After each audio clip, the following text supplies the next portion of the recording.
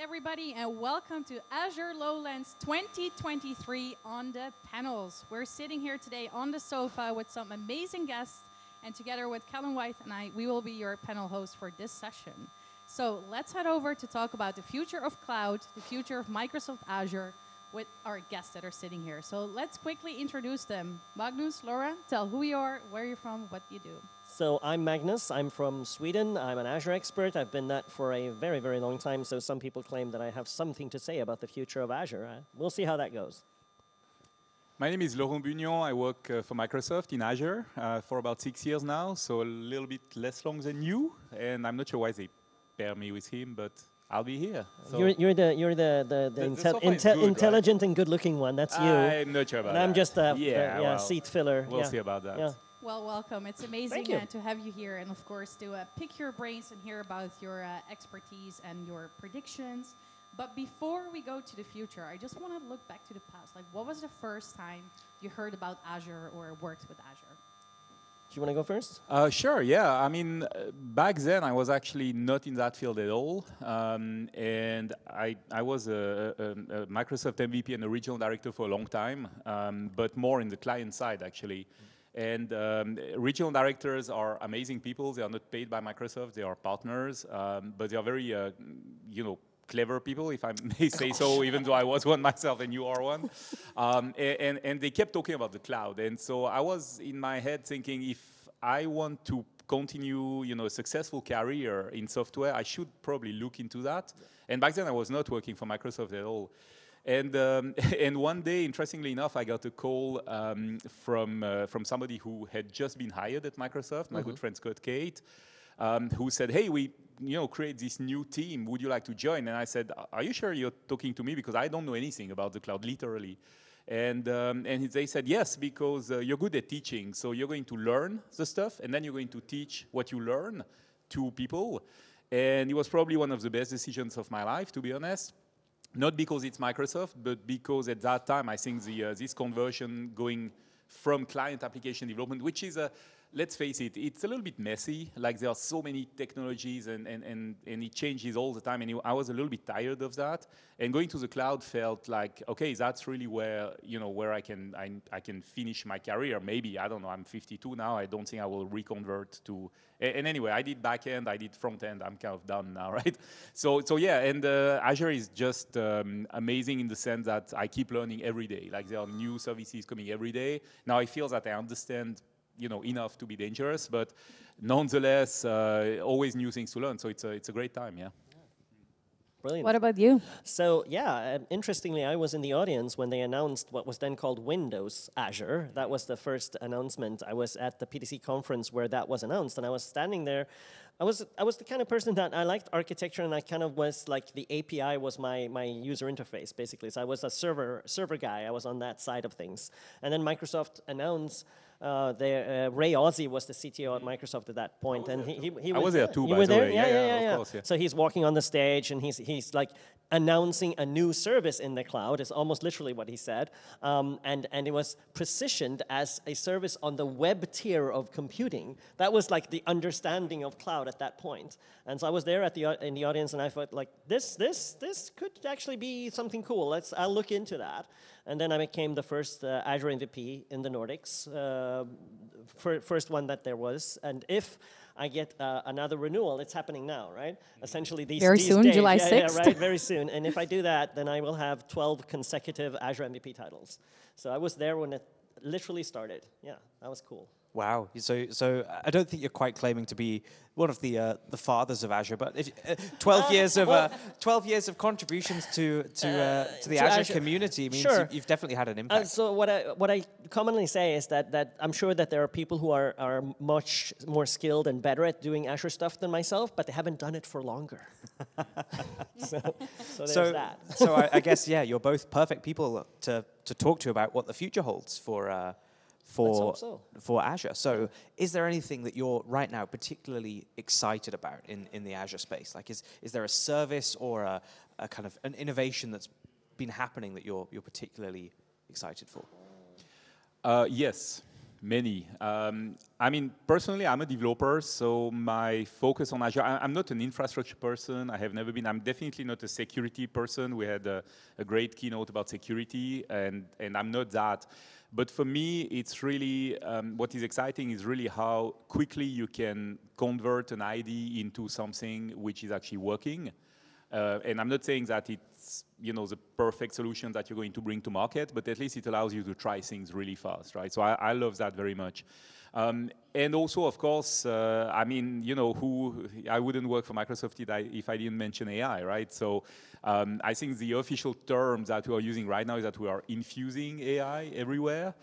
And, and so even services which are not, um, which you wouldn't necessarily think about, like for example, I use Visual Studio a lot as a developer, um, and, and you know, the, the, the, AI services that they have inside there are just there. And it's funny because sometimes you don't even notice them, right? Like uh, they just pop up and then you're like, oh, that's cool, but you don't realize. So anyways, there, are, uh, there, there is AI pretty much everywhere now. And uh, yeah, it's, uh, it's an exciting time to be a developer. I've been saying that for the past 25 years, I think, probably. But, but I feel that this uh, acceleration of thing is a little bit scary sometimes, also, to be honest, right? Uh, responsible AI is something that we need to absolutely uh, think about because you know, in the wrong hands or in, uh, you know, with the wrong intentions, it can be really dangerous, or even if people are just lazy. Um, but nonetheless, I think that there is really a, a, big future there. So I, I like being in that space. It's really a fun space to be. Yeah. Yeah, yeah. And uh, so I like how, obviously, from Microsoft, you're towing the company line. You're supposed to talk about AI right now, so that's why you're doing it. Well, I mean, no, I mean, there is definitely something like that, but at the same time, let's face it, it's really exciting, right? I mean, yeah, I'm, I'm, not, uh, you know, you know me, right? I'm no, not, uh, yeah. i have never been somebody who, who sells uh, the company line, no, like no, you say. No, no, no. It, it, it just happens, it just happens to be something which is happening right now. And the fact that we are. In the you know in the forefront of that and observing it all. Yeah. Even if we are not it's experts exciting. or anything, it's very it's exciting. really exciting. And what I so I'm I'm a sort of a Azure fundamentalist of sorts in in a way that um, the, the basics still rule, the basics still apply, because none of the services that, we, none of the fancy schmancy services that we see, all the AI and all the things, none of that could have ever been built without the fundamental cloud platform to stand on. That's uh, where I kind of live and breathe, because uh, many of my customers are taking their uh, services and things to the cloud, and they need to understand the basics. So I don't want to like pull it all the way down to those basics, but um, you should talk about what you love and, and hopefully uh, love what you do. And I, I, happen to, to be in that, that fortunate position uh, that um, all of those services, you know, coming to your question, what is, what is cool in Azure right now? Um, all of the services, all of the data, and all of the th like security data and, and compliancy data, and, and we had uh, a great security keynote here at the conference, right? Um, all of that data is there. All of the services are in the platform, except we're not using them.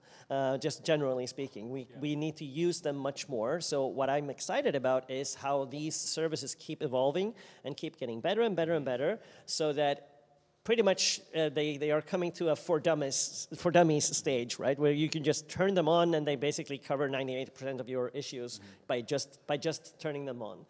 But then there's, there's more than that, and, and uh, I guess that's what I'm preaching mm -hmm. about, that people need to understand to use the services that are in the mm -hmm. platform. It's, they're already there. Yeah, one thing which is, um, which is exciting right now in Azure, it's very anticlimactic, but it's basically the, the very incremental nature of change yeah. Means that you probably don't have to relearn everything. Now, obviously, if you need a if you need a new service, right? And I, am I'm, I'm talking later about cloud native in the sense of you know building applications with components and, to that and point exactly. Yeah, platform yeah, yeah, as a service, yeah. etc. So obviously, suddenly you say, okay, I, I want to use uh, I don't know Key Vault, and I don't know Key Vault. You need to learn it, okay? But what I like is really once you use a service, like if you use I don't know Logic Apps or Azure Functions, whatever, they keep adding new stuff, but it doesn't feel that they are breaking it. No, it's just incremental, and yep. suddenly you're like, oh wow, okay, I can do that. This is cool, but the, the, the knowledge you had remains. And again, coming yep. from client application development, where we have been through so many stacks of web and, and mobile and you know Windows and Mac and etc. It's very refreshing actually to feel that because it's so much more stable. Yeah. I'm, i like that. Yeah. yeah. definitely, and that's that's the point, right? That that, that the fundamentals still really apply. Yeah. from from the uh, from the angle of learning new things. So so how can we as uh, advocates for Azure, uh, be it in our companies or uh, or as your job, um, how can we help people to consider adopting Azure and the cloud over, say, something like I know we're not allowed to talk about AWS or GCP, but sure. over one of those platforms. What what makes Azure the choice? Why is that the exciting cloud to be on? Well, I, I, mean, you know, I, I, have tons of respect for our competitors. Obviously, um, I think that we all we all win at that game. Keeps somewhat, you sharp. Somewhat. Hmm? Yeah, yeah. It keeps you sharp. Yeah, absolutely. And and really, there is tons of innovation in in every space, right? So this is really cool. Um, one thing that I like, and it's not because I, I, mean I was hired to do that, so I'm really happy that it happens. But I feel that our our um, educational material is really up there, you know. Um, and so I collaborate with the people at Learn a lot. So for those of you who don't know, learn.microsoft.com, right? This is where, where we have our training material. And uh, we have really a, a, large crew of people who dedicate literally their day job to creating content, right? And um, it's, uh, it, it's not something that I necessarily see um, as much in, and again, right, with a lot of respect in our competition. Uh, I think that we really have people, and, and having worked with them, I mean, we just had builds three weeks ago, right? It's literally months of preparation. So we have we have thousands of people who dedicate their day job for months in those difficult, you know, financial times to create an experience where after that you can go online and at no cost find all the material, right? So I think that for anybody who is a student, who is a, a new learner, or even an advanced learner, you, you can find release this material, and this is really cool. I, I will say as well on that on that note that compared to some other uh, cloud platforms. In all respect. yeah. The, uh, the, uh, the documentation on, on Learn is so much more friendly in the sense that it will give you an example of how to do something in PowerShell. It'll give you an example of how to do something with the Azure CLI, but it will also give you the instructions of how to do that in the portal if you can do it in the portal. Yeah. Yeah. Whereas a lot of other platforms are saying, here is the script you need to run to get this to work. Yeah. And it's, it's not necessarily approachable or friendly unless you unless you understand that. But but yeah. it still comes with comes with a learning curve. yeah, cases. that's the that's the developer developer developer thing. I'm not going to do the dance. Don't be afraid. But Ballmer on stage, you know, shouting developer developer developer. That's like the, uh, the, the DNA of Microsoft, and that was long before my time. But that's the main reason why I'm exciting to be there is because I feel we have respect for developers and sure. and we really try to help them. Yeah. Yeah, no, I agree with that. And it's just a funny anecdote from from the documentation stuff, though. Uh, in a production system, uh, I was uh, they were complaining about some performance things, and uh, I, I, looked into the the types of uh, requests that was going to Azure Storage account, and it turned out that uh, there were plenty, plenty of more requests than there should be. So I looked into the code and I, I realized that, hey, there, there's, there's too many gets on this thing here. And I looked at the code, and sure enough, it was a, a literal copy paste from the sample uh, that they had copied and pasted the code and pushed that to production. So what they kept doing all the time was making a, a request to check if the container was available, if it was there. Ouch. And they pushed that to production, which means that literally they're doing at least a third more uh, requests than mm. they ever needed. So that, those round trips uh, added, they compounded and then literally just remove that line mm-hmm. and 30% performance right there. so yeah, that, just that, enough documentation. So be, be, careful about the documentation copy paste. I'm just, just enough saying. documentation yeah, yeah, can make you very dangerous. Yes. for sure. so yeah, Laurent, I have to say you really do put your heart and passion into Learn Live. Um, yeah. How many shows have you done? Uh, I believe 254 as of yesterday. Yeah, we That's are taking a little break now, um, but yeah, multiple times uh, a day, so that uh, multiple times a week. Sorry, so that's that's my day job really. It's uh, to produce that show. Thank you for mentioning it. uh, so aka.ms slash learn live. It's uh, it, it shows where we have really experts going through a, a learn module and um, it, it's actually nice because I was checking the, uh, the roster of speakers and I was like, oh, I work with him, I work with her, I work with them, you know, etc. And yeah. and uh, yeah, a lot of very diverse experts, and yeah, it's a, yeah. it's a good show.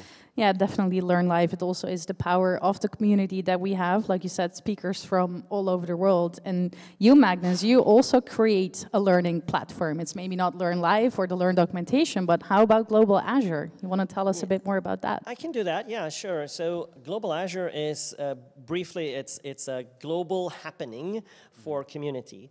Uh, and it's fun in such a way that, that it's just lets any community for any reason uh, join uh, and learn about Azure. And we don't, you know, subscribe or you know you should be talking specifically about this. It's more of a hashtag basically and a, and a website that brings us all together. Um, and and the power of that is that during Global Azure, hundreds of communities, literally around the globe, um, everywhere, are, are learning about Azure. And uh, the power of community is, is a, a, completely crazy thing. We didn't know what we started when we did that. It, it was completely accidental uh, because we just said, "Hey, let's do." I was a freshly, you know, minted, baked uh, uh, Azure MVP, and and if you're there doing, you should be doing community things. So let's do a community mm-hmm. conference. Um, uh, and and a friend of mine who was the second uh, Azure MVP in Sweden, and he said, "Well, I live in Stockholm and I live in Malmo, so." Let's, let's see what we can do with, with, with Azure together. Let's, let's have a, an event on the same day? What if we do a remote session? And then was like, okay, hey, how about we ask, you know, we have some friends over in, in, in the Netherlands and we know those guys in, in, in Belgium and oh, that, that, you know, that guy over in, in, in, uh, in uh, you know, in, um, in London. And the first time we did Global Azure, we didn't know what we started, but it turned out the first year it was 93 locations in 36 different countries, uh, which was nuts. Uh, so it's all about community and excitement, excitement about learning about mm. Azure. Uh, that's that's what we do with Global Azure, just for fun. Yeah, it's an awesome event. I mean, I, I try to speak every time at yeah. at least one of them, yeah. uh, and I really like it. So now they um, this year was uh, was in the. I, I, mean, I went to the Munich one this yeah. year. Yep. Um, our friend Phil was organizing. Yeah, that was both. a good yeah. one. Yeah, yeah. And uh, and it was hybrid, so it was also nice because you have this uh, contact yep. with people, and uh, and being streamed, of course, is such an easy access. So yeah, kudos on that. Yeah. Yeah, yeah. Thanks. I, I can say from hosting the London one that the the breadth of the topics that we had was yeah. was incredible. So all in one space, all under this Azure umbrella, yeah, I can exactly. learn about an AI topic, uh, going to a security topic, going yeah. to uh, you know how do I scale my web application and uh, and everything in between. And yeah. but the passion, I, I right? feel out of place. That's, it's that's exactly passion. the passion. Is like it's it's by community for community. Mm-hmm. It's it's people who are excited about technology and mm-hmm. they, they, just can't shut up. And and yeah, in, uh, and, and in, it's truly global. Yeah. Right? In Munich, there was a, a, talk to to your point, right, about uh, how to code in an environmental friendly manner. And I thought it was so cool because the guy was really going into details, like, for example, how do you improve performance so that you consume less CPU and then you end up consuming less power, right? Yeah, and so yeah, many, yeah. so many aspects. Wow. So yeah, it's really, uh, it's really nice. Yeah. Cool. Yes, I, have been to the one in uh, Lisbon, which uh-huh. was also uh, really amazing. So speaking of the cloud and the future of the cloud, of course, we find it very exciting. It's very hot and happening. For those companies that are, let's say, they're fearing the cloud or they're afraid, it's like something scary. Like, what are the common fears that you hear about, and like, how do we make them, let's say, go away? Yeah, there's a, there's a big fear uh, for, for someone who maybe has worked in IT for many, many years. Um, they, they know about servers. They know how to like touch the hardware and be right there with it and, and like pull wires and things. Um, there's a real fear for some of these people. Maybe um, some of them coming towards the later part of their career, uh, some years from retirement, and now all of a sudden the, the company is changing for, for doing cloud things and they don't feel like they are included. Um, and that is something you need to be very mindful about and very respectful about because these people maybe have worked in the industry for 25 years. They're, they're experts. They know everything about what the world used to be like. Mm-hmm. And now they feel like they're losing their foothold. So um, bringing them along respectfully um, and, and just helping them to, to learn in a way that that is useful for them. That is a, that is a bit of a challenge uh, mm-hmm. pedagogically, but um, and some people won't won't come along but that so that is actually a real fear that i i am not included in that future mm-hmm. and as as a guide uh, to help someone come along that's that's a, a handsome challenge to have mm-hmm. to can say I, least can i yeah. propose propose a counter to that which is what about these new fresh faces coming out of uh, universities graduating who've never known anything other than cloud. How do we not lose some of that fantastic knowledge that these other people, yeah. that, mm-hmm. as you say, maybe nearing retirement age at yeah. this point? Yeah. How do we get everyone along for the for the that's journey? That's right. It's that's a challenge. Yeah, but one um, one thing which is particular in software development, I believe, is that, and, and that I don't see in other professions so much. Um, is that we can really gain benefit from talking to young people who are just out of uni because they learn stuff that didn't even exist when I was in engineering school, right? And, and I feel that this mutual respect between young generation and older generation is really important. So yes. the only advice I can give to people, because you're right, it's a little bit a train moment. When the train was invented, yep. well, people who were selling horses starting losing their exactly. job, right? Yeah, yeah, yeah, pretty much. And, and, and so there is a little bit of that. But but the advantage here is that really, if you if you kind of you know open open a little bit and, and welcome this new blood, right, and talk to them and understand. And also another thing that should never be forgotten is that that I don't know any firm that is 100% in the cloud. Like they are all hybrid. And I don't even know any firm who is 100% in one cloud provider. Like it's always multi-cloud, right? Correct. And so, um, so this hybrid aspect, and if we, if only we had somebody who is managing the uh, something hybrid, about Azure Arc. Like yeah, who is managing some hybrid security thing. So for those who don't know. Um, is his husband uh, is, uh, is, is, managing the program for that at, at yeah. Microsoft.